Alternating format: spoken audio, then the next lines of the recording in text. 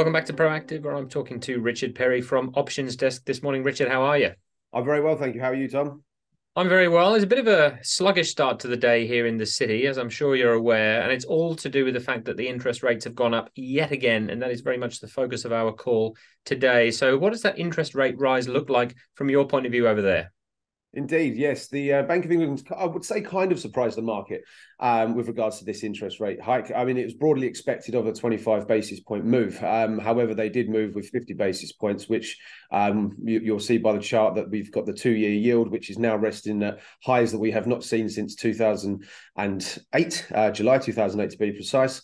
Uh, that being said, uh, with regards to the market pricing in that rate hike was a little bit more they were a bit more ahead of the curve. Um, how that has also had an impact is uh, you know this is going to be detrimental for house builders uh, which we have seen a little pressure on the on the uk market going forward so richard what kind of trades did you see around the announcement this week well, see, that's it. On, on our website, on our insights page, we've sort of posted a note to highlight, you know, how you could position yourself for for either scenario, a 25 basis point move, which we was um, suggested of selling a put put option uh, in the expectation that um, the the with the Bank of England keeping to consensus that markets might rally as you know it's been kind of priced in, um, and in addition, you know we got these surprise with the 50 basis points and the trade uh, could have been to buy a put. Um, again, now that we saw the market fall, that that could have been a good uh, a good position to take for for market participants.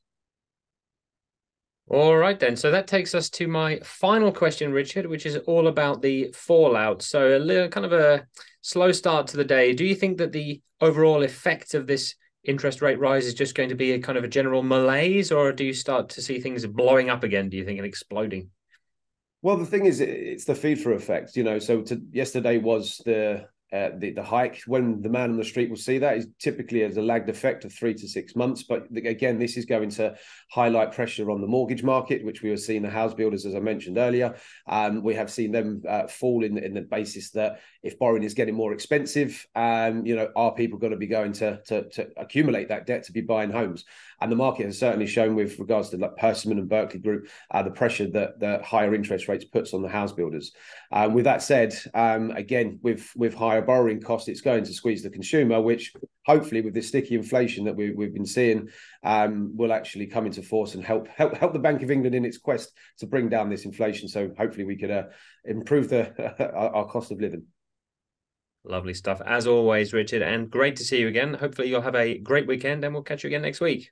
Indeed, look forward to speaking to you next week. Have a good weekend.